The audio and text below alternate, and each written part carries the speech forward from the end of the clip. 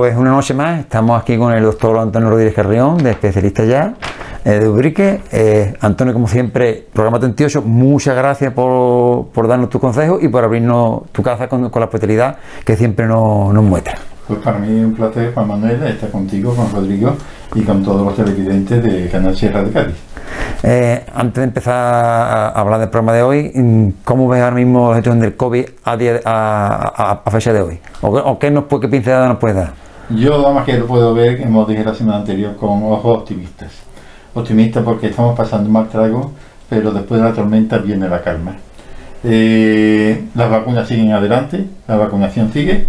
Eh, quiera el COVID o no quiera, no vamos, vamos a estar eh, inmunizados con defensas. Eh, cada vez falta menos y yo creo que la población, después del paro que hemos tenido o que todavía está por aquí, ¿no? de, de tantos casos, eh, llega un momento en que yo ya veo la luz, yo ya veo la luz, es decir, no la luz al final del túnel, sino la luz muy próxima. No que este a principio de verano estemos todos vacunados y ya esto haya desaparecido, pero si no, si las cosas no cambian, a final del verano, eh, yo creo que estaremos... eh, Septiembre, octubre. Sí, estaremos todos inmunizados. Seguiremos con mascarilla hasta el año que viene. ¿eh? Y, tanto los que se han vacunado como los que no se han vacunado. Pero esto estará más o menos controlado. eh, ya todo el mundo más o menos eh, estará más tranquilo.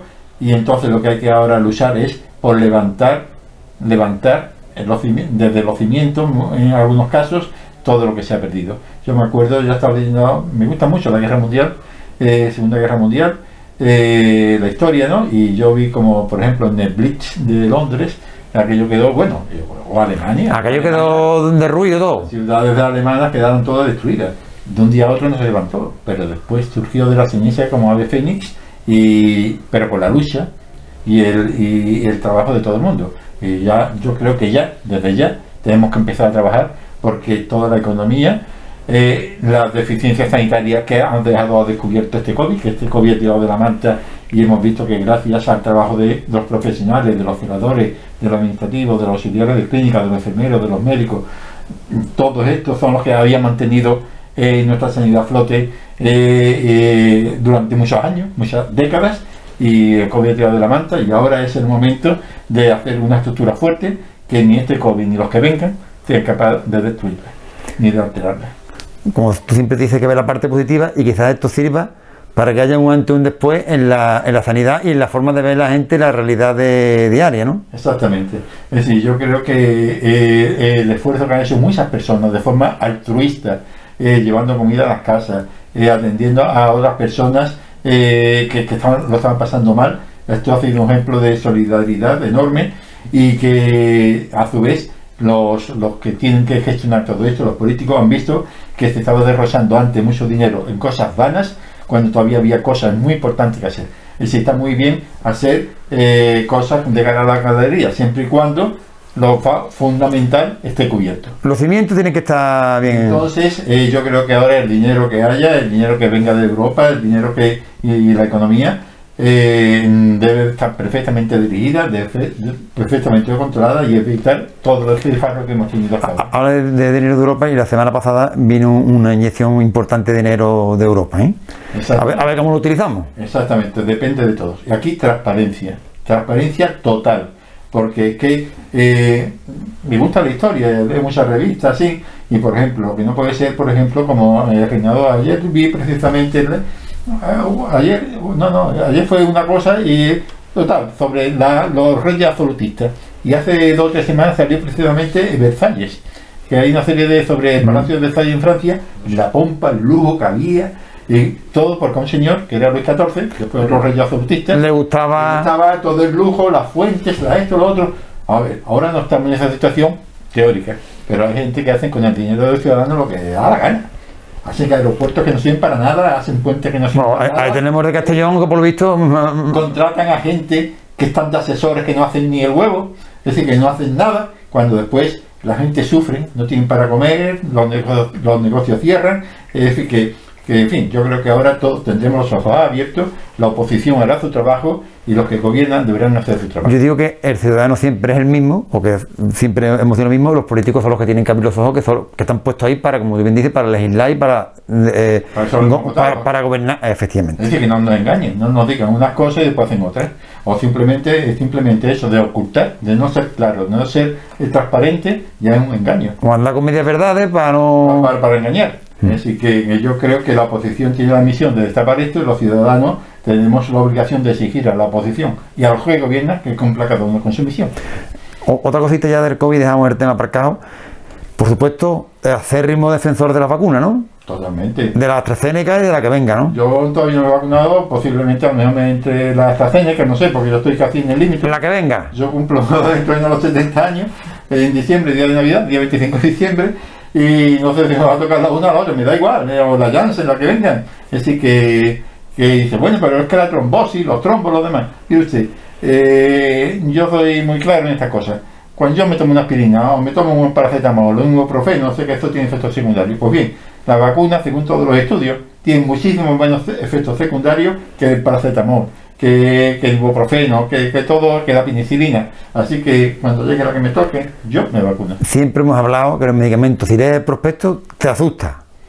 Claro, totalmente. Es que los medicamentos no son un, caramelito. Claro. Tienen su efecto beneficioso, la mayoría, si no, estarían ahí, pero que después tienen un efecto secundario. Pero es que la vacuna, dentro de. Pero es que salir a la calle tiene el, el peligro de que te puedas caer. O, o- o que te caiga un coche, que te caiga un árbol, en fin, 20.000 cosas. Pero ya digo, la vacuna es muchísimo menos que todo eso. Eh, Antonio eh, le, le gusta siempre tener algo, algo encima de la mesa y hoy vemos un objeto que tiene ahí, donde tiene un portalápices, que Sí, también tiene, lo que- que que pasa te- es que no sale en la tele. pero que también tiene su historia, ¿no? Exactamente, no sale en la tele porque lo tengo aquí y claro, y lo he puesto a traer al medio porque quiero darle un saludo, un recuerdo y un abrazo a don Manuel Pérez Trastoy, íntimo amigo mío. También, también gran amigo de la casa. Exacto. Bueno, bueno, es que yo creo que de todo el De mundo. todo el mundo, sí. De todo el mundo que lo ha tratado no tiene más remedio que sea amigo, porque es que es una persona tan encantadora y, y nada. Y en homenaje a don Manuel Pérez Trastoy, y ya digo, lo tengo siempre presente porque lo tengo en mi- la mesa de mi despacho, esto que siendo invidente, siendo ciego. Eso comentarlo Él dice- porque la gente, él la gente no lo Él sabe. dice, yo soy ciego.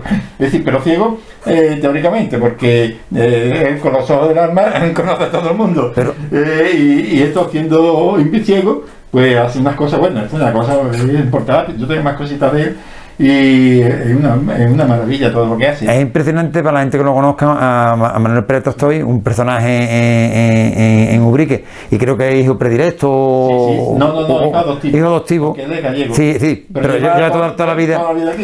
Y, y él lleva gala. Sus hijos y todos son de aquí. Sí, él lleva gala de, de- con la gala. Él, él- él dice siempre que es ciego, pero lo que ese hombre hace con las manos es, es digno de exposición. ¿eh? Bueno, pero eso de que es ciego, ya digo, es ciego porque no Sí, ve, porque no ve. vista, porque después con, eh, tiene un corazón Y una mente privilegiada, y ¿eh? una mente privilegiada que, que tiene que, fin, que es abierto, transparente para todo el mundo, es decir, que, que, que él ve, que él ve lo traspuesto, ¿eh? es decir, Pues- pues- hecho, pues como, como se dice por aquí, eh, ve con los ojos del alma. totalmente.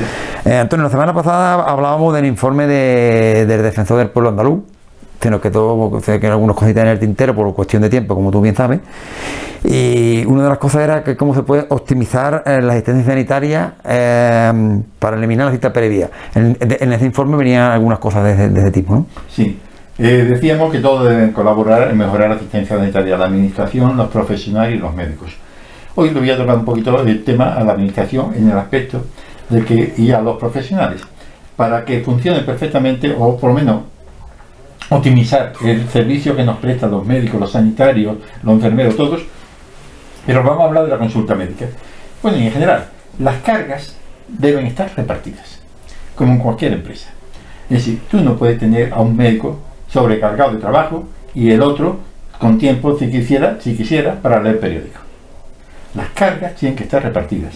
Y dice, bueno, no, eh, mire usted, es que nosotros tenemos 1.500 cartillas máximo o 1.400 de media en este centro y están todos con 1.400 o parecidas, ¿no? Con poca variación. Digo, bueno, eso es muy fácil de hacerlo. Usted coge, divide todas las cartillas que hay por el número de médicos y a todos igual. Y eso es un gran error. Eso lo he vivido yo en mis carnes y lo viven muchos médicos. ¿Por qué? Porque eso no es justo. Y yo decía, porque dice, hombre, si todo el mundo tiene el mismo de cartillas y además mismo número de pensionistas y mismo número de no pensionistas, por ejemplo. Porque los pensionistas se supone que muchos de ellos tienen más carga laboral, pero digo, un momentito. Hay que distinguir pensionistas porque ha cumplido la edad de jubilación, por ejemplo, 67 años, y los pensionistas porque enfermedad. Un pensionista de 67 años mm, no tendrá, cuando está jubilado con esa edad, no tendrá enfermedades muy graves. Es decir, puede que tenga mejor algo de azúcar, atención o algo, pero lo ha permitido seguir trabajando. Pero hay personas que son pensionistas con 40 años, con 50, con 55, con 60, y cuando lo han dado de pensionistas normalmente es porque tiene un infarto con grandes dificultades, o tiene cáncer, o tiene moto, y esas personas necesitan ir mucho al médico, a revisiones, a controles, producen mucho gasto farmacéutico. Y entonces no me lo equipare usted a uno que se ha jubilado. Hombre, que eso es muy difícil de ahora hacer la distinción. No es difícil, usted es incompetente. Usted como director es incompetente. Y usted como director de distrito es incompetente por tener ese director ahí. Es incompetente. ¿Por qué? Porque simplemente, y es muy fácil de saber, porque cuando lo mandan, saber quiénes son los que se ponen insulina. En esos momentos te lo dicen. ¿Quiénes son los que toman fármacos para el corazón? Te lo dicen. ¿Quiénes son los que toman fármacos para problemas psiquiátricos? Te lo dicen. Con cuatro o cinco enfermedades y con la edad, tú sabes los grupos. Entonces haga usted grupos con eso y ya está. Dice, bueno, pero es que también hay otro problema, que es que como hay libertad de elección de médico, si hay un médico que, por ejemplo, es estable, que, ya tiene la plaza en propiedad y, vive ahí en el pueblo, pues todo el mundo se quiere pasar con él. Porque es que resulta que o nuestro grupo, y sobre todo se quieren pasar con él los que más veces van al médico, porque si no, cada vez que va hay un médico diferente, te lo están cambiando. Dice, oye usted, a mí por ejemplo me lo preguntaron cuando yo llegué a Urique desde Prado del Rey, me dijeron, pero usted se va a quedar aquí, usted también se va a ir ya, porque era un cumplón. Mm. Digo, no, no, yo tengo mi plaza en propiedad y yo pues me he hecho mi casa aquí y yo pues pienso morirme aquí, cuando me que a una residencia o un hospital, ¿no? Y dice, es que como aquí cambian de médico, entonces ¿qué ocurre? Que cuando tú eres propietario, está en el pueblo, pues la gente se te pasan contigo, porque quieren estabilidad. Claro quieren estabilidad. Y entonces el otro cupo, y además se pasan los pensionistas que tienen diabetes, colesterol, o el activo. Hay personas activas que tienen diabetes, colesterol y van, necesitan control, aunque estén trabajando. Pues eso se pasan porque quieren estabilidad a un mismo médico. Entonces un cupo se queda sin paciente, se queda que le bajan las cartillas y el otro se carga con personas con mucha carga laboral. ¿Qué ocurre? Que ahora llega un muchacho de 20 años que se empieza a trabajar, que está sano, y dice, mire usted que yo vengo a, pedir médico porque yo tengo mi, que, cartilla. Y dice, pues quiero con don, don Juan, por ejemplo, que es el que tiene toda la vida allí. Dice, no, don Juan ya está todo lleno, pero está lleno de pensionistas y de gente que tiene muchas patologías. Dice, entonces, dice, queda libre doña Fulanita o don Menganito. Ah, pues póngame con él. Entonces, don Menganito se va juntando con personas sanas. Entonces, uno está pobre, agobiado. Hasta arriba. Y el otro con gente joven. O gente mayor, pero que no tiene Entonces, Dice, es que esto es cuestión del director y desde todo el distrito de controlar al director, porque si no, tenemos médicos que están quemados y otros pues que están en la gloria. Y ese señor, que ese médico está en la gloria, a lo mejor interino contratado, que a los tres meses se va. Y llega otro, y estamos en la misma, entonces se le va más gente al otro todavía, o a otro médico, o a este o al otro. Y llega un momento en que, en que hay tres o cuatro médicos que están hasta aquí y tres o cuatro médicos que están más, Los cupos que están cambiando continuamente que, no tiene. Entonces, dice, ¿cómo componemos eso? Porque no vamos a quitar la hora y llevárselo otra vez. Pues señor, en un centro de salud no solamente todo es la visita médica, hay que atender personas sin cita, que, o el médico que se ha puesto malo, entonces, en vez de eh, coger usted y todo eso, todo eso de carga, se lo pasa al que tiene menos carga. Hay que hacer el mejor trabajo de educación para la salud, pues se lo da usted que tiene menos carga, y le va pasando para que, eh, pero yo por desgracia eso no lo he vivido en Ubrique, en Ubrique siempre ha habido una, una dejación de funciones por parte de la dirección muy grande en general y en fin, yo no sé, eh, pero yo me consta que en muchos sitios pues pasa eh, por lo menos yo hace tiempo estoy un poquito desconectado de todo esto, pero no solamente en Ubrique, en muchas partes de Andalucía, eh, la inestabilidad laboral que supone no veo oposiciones, ahora la hay más, desde que entra este tipo de gobierno en la Junta de Andalucía hay más oposiciones, más plazas fijas, esperemos que sigan en esa línea y que por lo menos esto, que las cargas laborales se igualen. Es como se dice por aquí vulgarmente en la sierra, es compartir la carga, no ni más ni menos. Pero eso ocurre en muchas, en muchas, en muchas cosas. ¿eh? que yo lo hablo de médico Eh, pero enfermería podían hablar los enfermeros, los auxiliares. No, pero en, en, todos los aspectos de la vida, ¿eh? Es decir, yo estoy hablando de medicina que lo es, y desde luego en la gestión que yo he visto en la medicina, 37 eh, años trabajando como médico, eh, ha sido. Pero de rey era diferente porque no teníamos jefe, no había director, entonces cada uno, entonces éramos dos médicos. Eh, después al final ya en los pocos años que estuvimos ya éramos cuatro, vino un médico más y un pediatra, pero cuando éramos dos las cargas las teníamos repartidas.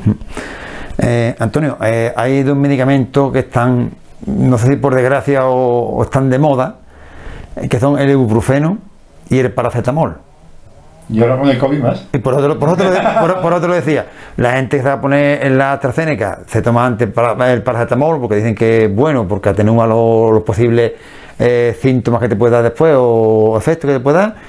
Y el ibuprofeno, que está también ahora también de moda, porque dicen que te da incluso, puede tener más peligro que la propia, la propia vacuna, que te puede dar más efectos secundarios. Bueno, pero ¿qué diferencia hay entre ellos y para qué sirve cada uno?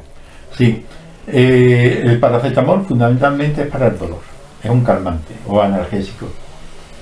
El, paracetamol no sirve para bajar la inflamación. Que si tú te torces un tobillo o te tiene un flemón eh, en la cara de una muela o un diente, el paracetamol te va a quitar dolor, pero no te va a quitar la inflamación. El ibuprofeno quita la inflamación, sirve para la inflamación y también quita algo de dolor, pero tiene más efectos secundarios. El paracetamol fundamentalmente eh, está contraindicado personas alérgicas, son muy pocas, pero yo he visto algunas, ¿eh? alérgicas al paracetamol, pero es muy raro y es bastante inocuo y después fundamentalmente también personas que tengan de hígado, ¿eh? que tengan problemas de hepatitis o eh, cirrosis, problemas de hígado, fundamentalmente y no debe tomarse bueno, ningún fármaco de alcohol, por supuesto. Pero el ibuprofeno tiene más efectos secundarios, es muy bueno pero eh, tiene efectos secundarios, bueno, el paracetamol tiene algunos más, pero ya no son tan importantes. Pero el ibuprofeno es antiinflamatorio, muy bueno, pero puede producir hemorragias digestivas. Es decir, en el estómago te produce mm, rotura de los vasos sanguíneos y tener hemorragia. No es frecuente, pero puede Pero puede ocurrir. Daño renal. También. A veces puede hasta afectar el corazón. Son raros, pero tienen más efectos secundarios. Es decir, entonces no tomar ibuprofeno, eh, es algo que te haya indicado el médico, o sea, algo que el médico no te haya indicado esta pero si tú tienes reuma o tienes alguna enfermedad crónica antiinflamatoria, el médico dice, mira, te voy a mandar ibuprofeno, porque ya te lo has tomado tú otras veces, vemos que no eres alérgico ni de hecho, en estas dosis y durante este tiempo. No cuando te, sino cuando te dice cada vez que te dé el ataque, te lo tomas durante cinco días o tres o una semana, lo que sea, durante este tiempo. ¿eh?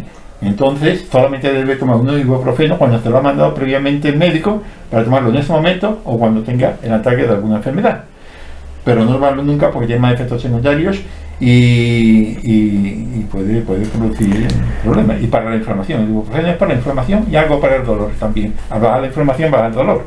Y como decíamos anteriormente, eh, ahora con el tema de los efectos secundarios de la vacuna de la AstraZeneca, sobre todo, dicen que el, ibuprofeno eh, puede producir puede producir más efectos secundarios que la propia vacuna.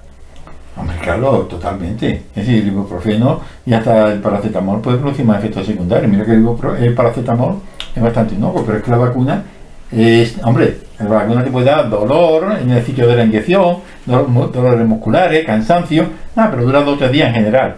Hay personas que a lo mejor pueden tener algún efecto que son raros, ¿eh? pero que en general el, ibuprofeno da mucho más problemas que, que la vacuna, puede mm. darlos más graves. Eh, Antonio, cambiando un poquito de tema, decir una palabra rara para a ver, a ver, que nos explica qué es el cosímetro. el cosímetro es un aparatito ¿eh? que eh, lo que son fumadores eh, lo conocerán bastante bien porque cuando van a los talleres para deshabituación tabáquica, para dejar el tabaco, una de las cosas que le miden es el CO, el monóxido de carbono, que es un gas que al fumar sin nada y es muy tóxico, muy tóxico. Entonces ese gas, cuando dice, sopla usted por aquí, es parecido a lo que los asmáticos, eh, cuando soplan... Un experímetro, ¿no? Sí, con el aspirómetro, eh, pues parecido, tú soplas eh, por este aparatito y entonces te indica la cantidad de monóxido de carbono que, contiene. El monóxido de carbono es el mismo gas que se desprende de los braseros de las copas de picón en invierno y que se tufa ¿Y, que es tóxico. Es tóxico, es decir, todo el mundo sabe que es una estufa de butano, de esas antiguas que ya no existen, o los braseros de carbón, de picón, o la chimenea, o una cocina que, que no, que no, Que no ventila. no ventila bien, pues se produce un gas que no, no tiene olor, que no, no se ve, no tiene color, eh, y pasa desapercibido, pero se une a los glóbulos rojos de la sangre impide que el oxígeno entre. Es decir, yo respiro, entra el oxígeno, pero entra a través de la boca, de los tráqueas, de los pulmones, pero al llegar a la sangre no se pega, porque está bloqueada por ese, por ese gas y me muero asfixiado. Porque el oxígeno, aunque yo lo respire, no puede penetrar dentro del glóbulo rojo que hay en la sangre. Pues este gas, el monóxido de carbono, ocurre eso. No se muere uno, porque no hay cantidad suficiente para intoxicarse como con el eso, pero un gas tóxico que, que te impide eh, razonar adecuadamente, que, que te deja, porque el oxígeno, eh, bueno, y la función del cuerpo no funciona adecuadamente en general, aunque no sea muy manifiesto, pero porque el cuerpo no tiene suficiente oxígeno, porque está bloqueado por ese monóxido de carbono, y este gas te lo indica cuando dejas de fumar, con el tiempo, pues ya tú sabes, porque yo- tú le dices a este, oye, deja de fumar, y dice, sí. Y no, me dice, no, que va, yo estoy disparado. Por mucho que me diga que no, esto es un chivato.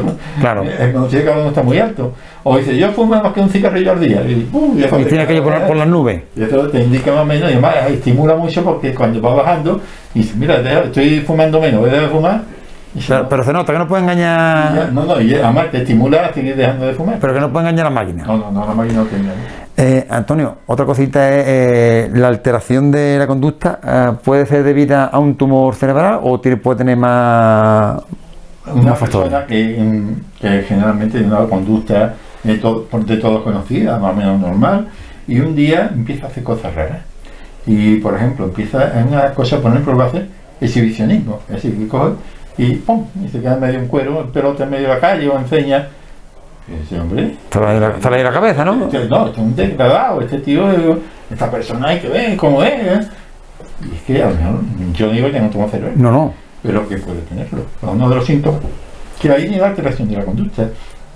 En el Alzheimer puede haber alteración de la conducta, en muchas enfermedades mentales, pero un tumor puede desencadenarse por alteración de la conducta. Persona que es de una manera, 50, 60 años, pues, oye, este tío no, está cambiando. Está haciendo cosas raras. Está haciendo cosas raras. Es una de las cosas que hay que averiguar si tiene un tumor cerebral. Fíjate tú. ¿Por qué? Porque te afecta una parte del cerebro que es la que condiciona la conducta y muchas veces, bueno, cuando hay una alteración de la conducta, entre las enfermedades que se buscan, es que pueda tener un tumor cerebral. Y se, se suele diagnosticar con un TAM, me imagino, ¿no? Sí, en la resonancia magnética. resonancia magnética, ¿eh? En fin, se hacen más pruebas y se opera o se trata o como sea y ya está, pero que para que veas que muchas veces cuando veamos la conducta extraña de alguien, alguien que hace... No, que esté loco. O simplemente... O un depravado, como tú decías. Yo me acuerdo muchas veces, hay personas que, por ejemplo, van con la bragueta llena, ¿cómo va? Se te está orina encima, o se te ha puesto orina de un árbol de un matón. Es que hay personas que parecen de próstata, y esto lo sabemos todos cuando se llega a una cierta edad, que tiene que orinar cada dos por tres, porque la próstata se va acumulando, y como no orines, tienes que te, te llena todo. Claro. Y al menos no hay bares, pues están cerrados o lo que sea. Por lo que sea. Y, y yo voy detrás de, de un matón donde vi. No- no va- que que te, te lo encima. Mm. Que te llena encima. Es decir, que, que no sea un depravado. Normalmente estas personas siempre buscan. Tiene algún esa, sitio, tiene esa necesidad. ¿eh? como saben, ya dice, voy a quitar al bar, a tal, tal, pero si por lo que sea alguna vez alguna cosa rara, mm, es que muchas veces es un lío. No, no, va- no va, como se dice por aquí, no va, no va a reventar, vaya. Claro. Es que se le escapa, no, no es que reviente, es que se le va. Es que aunque no quiere, se le escapa. Que, Antonio, como siempre, es el tiempo, Tiempo el, tiempo, el tiempo- el tiempo vuela. Estaremos hablando contigo aquí toda la noche. No sabemos cómo darte las gracias por atendernos y darnos estos consejos que tanto están ayudando a la gente, porque la gente no lo, no lo comenta en la calle, de que dice hay que ver con la claridad, con la, ah, con la forma tan, tan llana de, de- de- de explicar la cosa que tiene el doctor Rodríguez Carrillo. Y de nosotros damos fe de ello. Bueno, yo siempre digo lo mismo. Para mí es un placer estar con todos ustedes, con Rodrigo, con Juan Manuel, con todos los amigos de Canal Sierra de Cádiz y decir que yo solamente transmito lo que me han enseñado antes. Muchas cosas he aprendido de mis profesores, de mis maestros, cosas he aprendido de mis compañeros y muchísimas cosas he aprendido de los pacientes, de los amigos que todos los días me están enseñando cosas de la medicina y de cosas de la vida. Así que un abrazo a todos y un cordial saludo y muchas gracias a ustedes y a todos ellos. Y mascarilla. Bueno, pues con Antonio nos despedimos hasta, hasta la semana que viene.